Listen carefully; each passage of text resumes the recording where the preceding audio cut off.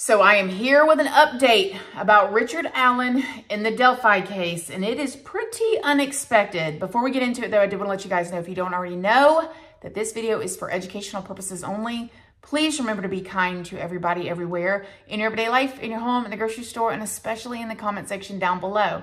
Please do not show hate to anybody, anywhere.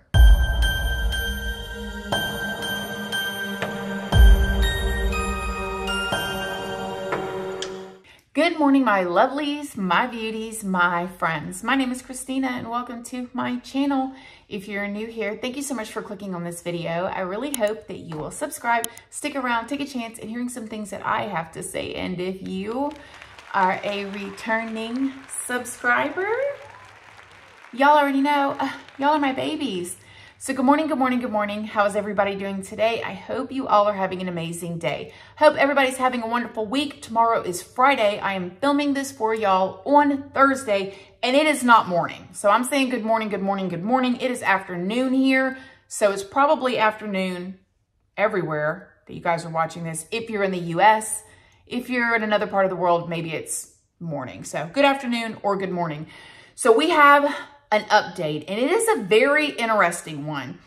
I'm not going to go into the whole spiel about this case because if I did, it would take me 30 minutes just to get to what we're going to talk about today. So what I want to say is that if you are not all caught up on everything that is going on with the Delphi situation and the Delphi case and Libby and Abby and Richard Allen, his old attorneys, I wanted to say his attorneys, but his as of now, ex-defense attorneys Rozzi and Baldwin and Judge Gull and all of the mess that's been going on, and it has been some mess, please go and watch my playlist. You're going to want to find out. And if you're you're just dabbling your toe and you're like, I keep seeing this everywhere, what is going on? Get, get to my playlist and you will be caught up real quick. And it has been a lot. So for those of y'all that have been following, then you know that a few months back, Richard Allen's attorneys, Rozzi and Baldwin, requested for Judge Gull to move Richard Allen facilities, saying that he was being mistreated in there. That's when the phone calls came out. And for those of y'all that remember, it was released, it went wild in the media that Richard Allen confessed to his wife and to his mother five times over the phone, hey, I'm the one that did this. Hey, I actually did this. Now, when he did, his mom and his wife were very confused.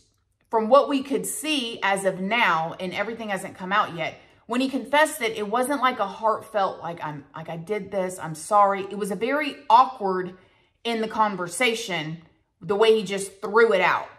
And even to the point that his wife ended up hanging up on him. Well, when the attorneys looked into it, allegedly it was because the correctional officers there were forcing him to by saying, if you do not do this and standing over him while he was using the phone, that they were going to come after his family, his wife, his mother, and his family. Allegedly, how Richard Allen's attorneys, Rozzi and Baldwin, found this out is because when they would go to meet with Richard Allen to talk to him about the case, immediately Richard Allen would say to them, hey, is my wife okay? Is my wife alive? Is everybody alive? Is everybody okay? And they were like, yes, why do you keep asking this? And this is when they found out that what was going on in the prison was they weren't feeding him.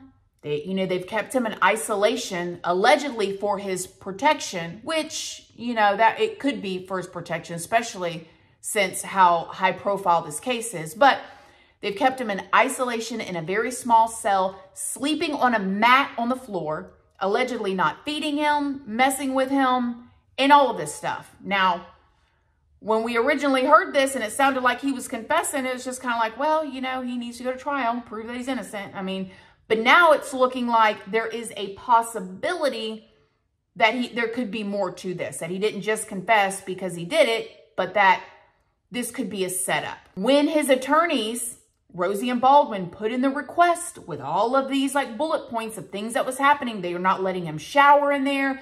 They weren't letting him like have like the right food, uh, clean clothes. Some of the things kind of makes me giggle because it's kind of like, well, that kind of happens with everybody in prison, but you know, but all of these things, um, the judge said no, and I'm putting this in my own words. So Please go do your own research, form your own opinions. Everything in this video is alleged. I'm filtering it through my own words and my own opinions, and I'm not a professional, okay? Judge Gull responded to that and was basically like, no. As a matter of fact, Judge Gull said that Richard Allen was being treated more favorably than the other inmates. Now, Judge Gull, for serious, I mean, if she would have said that he's being treated like every other inmate, then it would be like, okay. But for her to say that he was being treated more favorably, I mean, just look at the before and after. Something's going on in there. I mean, the man was drooling on himself. Okay, so something's going on.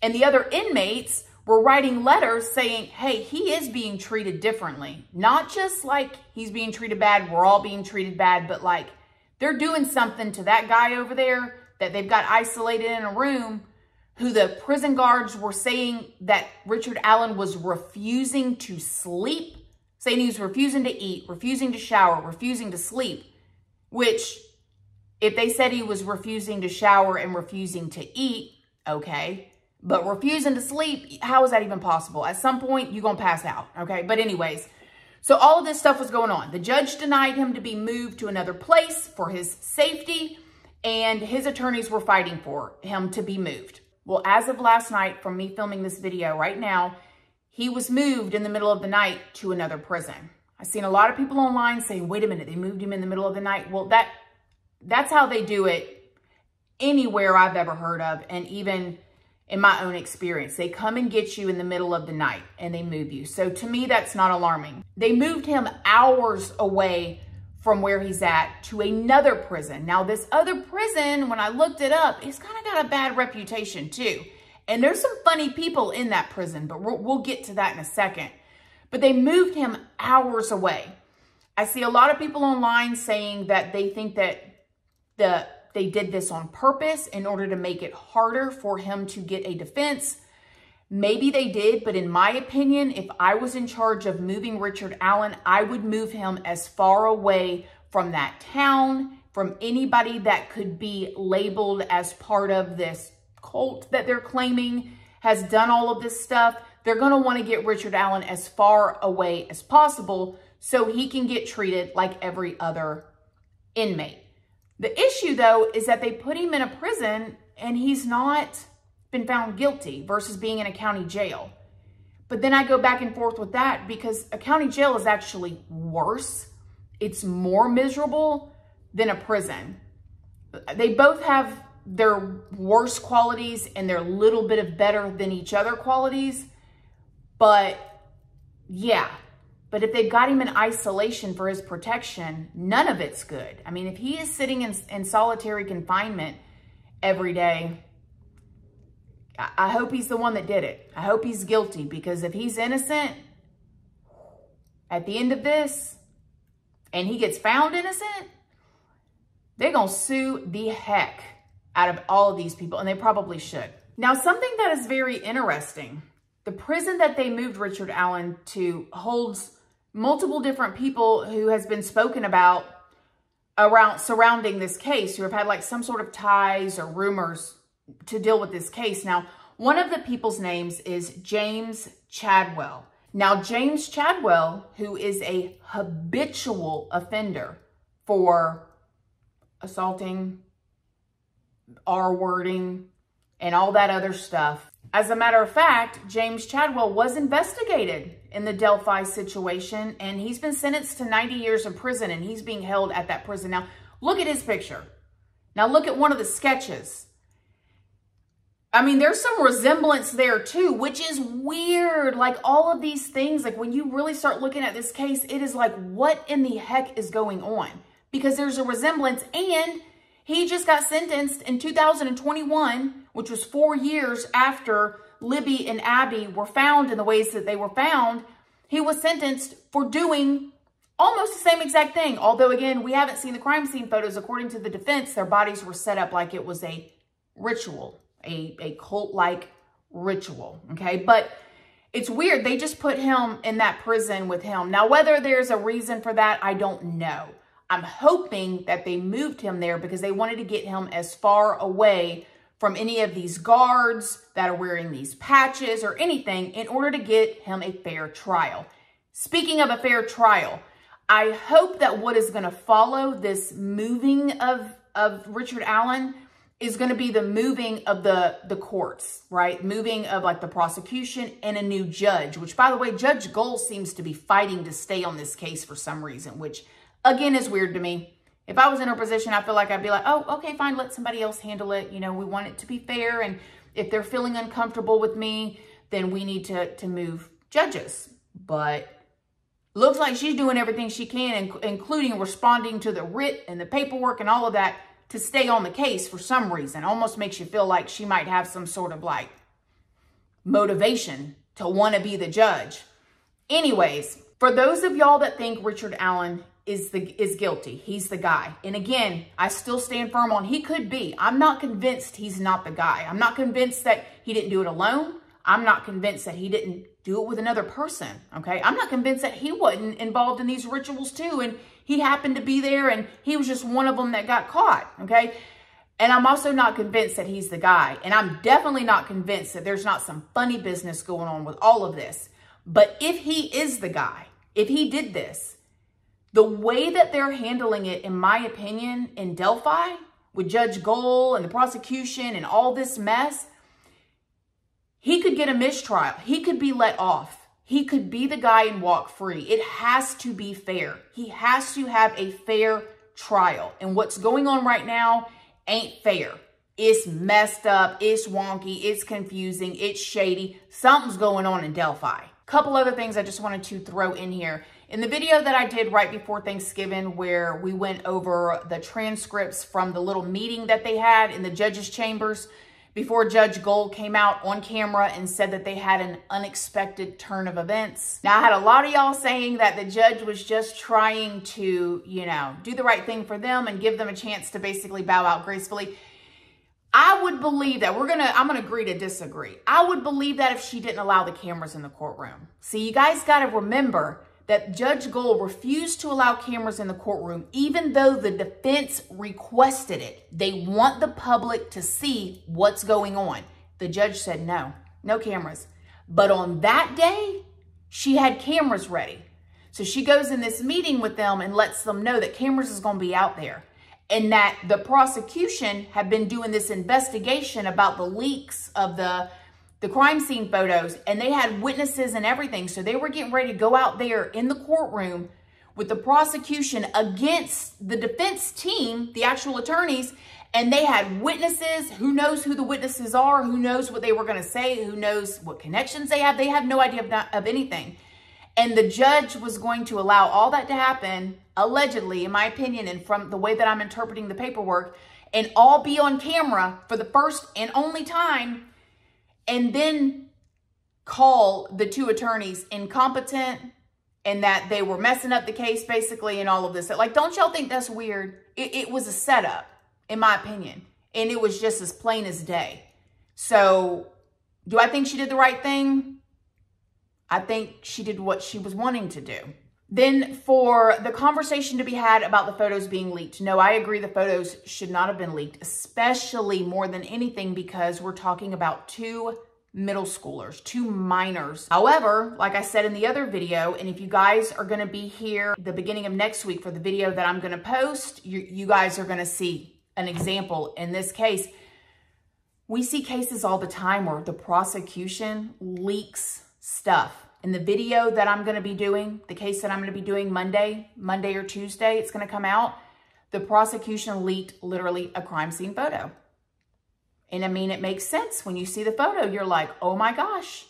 But they're not removing them from the case or any of these situations. But in this situation, Judge Gull removed Rozzi and Baldwin even after they said that they would defend him for free because somebody that was connected to one of them re released these photos. And he had two attorneys, two separate firms, and only this one's firm was connected, but Rozzi's wasn't. And she got, come on, you guys. I mean, I'm all for a good, you know, wow, that's an interesting coinky dink. But all of these things being a coincidence or a coinky, I, I just can't, y'all. It can't be that many. There's something, something funny's going on.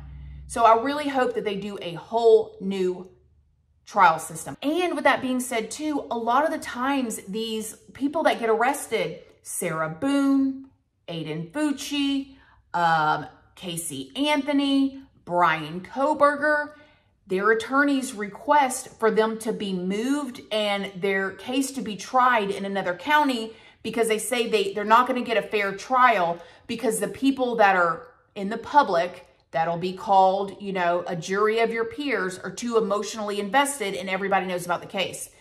And most of the time, pretty much dang near all the time, I'm like, that's ridiculous. People can be fair, even with the Brian Kohberger situation, especially too with that, one of the family members of the victims in Brian Kohberger's situation came out in an interview recently and said that not only is he being treated just fine while he's in jail, but he's also basically being treated better because he is in there allegedly helping other inmates with their legal paperwork. So you got Brian Kohberger sitting in the jail being buddy-buddy with all these other inmates and helping them. So he's probably getting all kind of soups and foods and being taken care of because he's got this criminology background and he can help the other inmates. So he's doing just fine in there.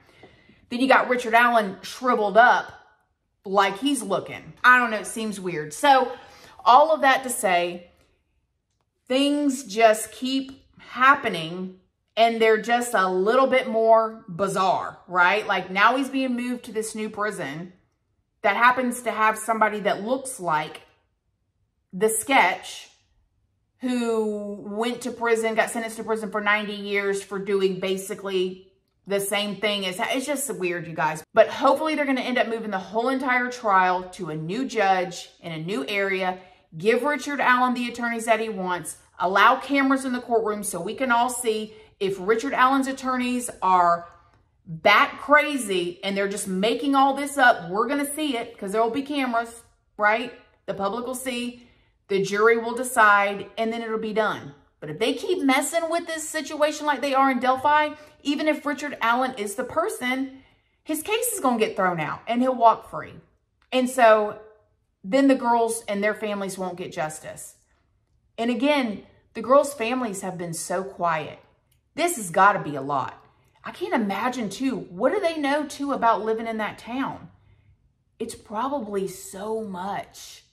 Y'all let me know what y'all think. Other than that, I love y'all. I will see y'all in tomorrow's video on Friday.